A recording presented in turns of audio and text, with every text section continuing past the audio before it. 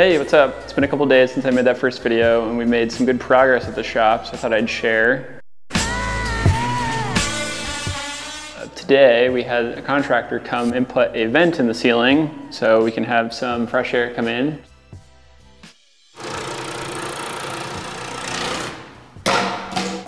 Today we also had the electrician come by uh, to start work here. We have something like 14 new circuits being run. We have quite a bit of power needs here.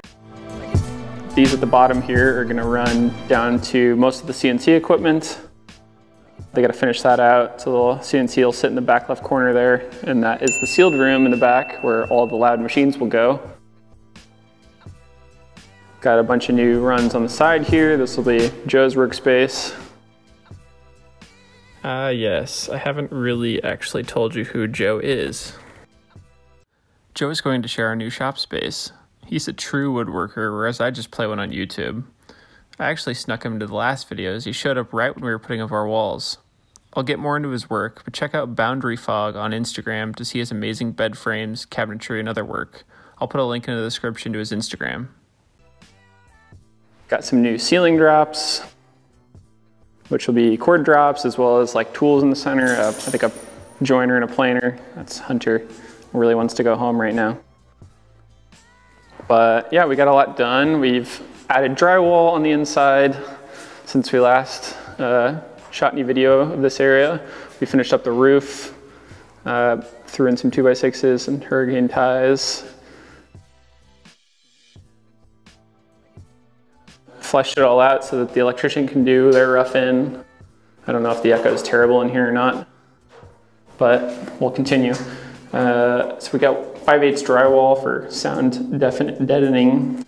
This is where our hold vacuum will sit, the blue tape kind of the outlet mar marking spot. Uh, air compressor will be here. Uh, dust collector is this one on the left. Be right here. And this is an outlet for an air filtration system that will help clean the air and kind of pull air out of the room since we're going to be essentially overpressurizing this area with all the incoming air from the hold vacuum and the dust collector. So that'll shoot out here. It's that jet machine right back here. We'll have a duct on one side and that'll come out the side of the, the room. And then as soon as we get the electrician to do their rough in, we'll be able to put in insulation. Well, actually we'll get a cover inspection first and then we'll do a uh, bunch of insulation, which is this rock wool that we got uh, as a tip off from Crafted Workshop's new shop build out, which is a sweet find. I was literally shopping for insulation right when I watched his video, so thanks for that. Uh, it's pretty cool stuff. It's essentially fireproof and not a huge insulating factor, but pretty good. It's not really what we need though. Oh, this is a constant struggle. Can you not, can you not eat that? Yeah, I don't know what that is. That's gross. Band-Aid maybe? Nope. Mmm. So after we put up the rock wool, which is the insulation, um, on the ceiling and on the walls, we'll be able to put up another layer of drywall. It's pretty thick stuff, it's 5 8 um, That's essentially just more mass uh, to try to stop sound from coming out of the room.